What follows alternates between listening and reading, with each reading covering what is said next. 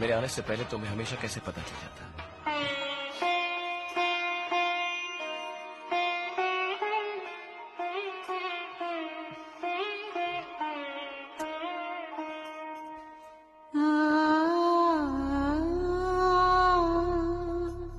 कभी खुशी कभी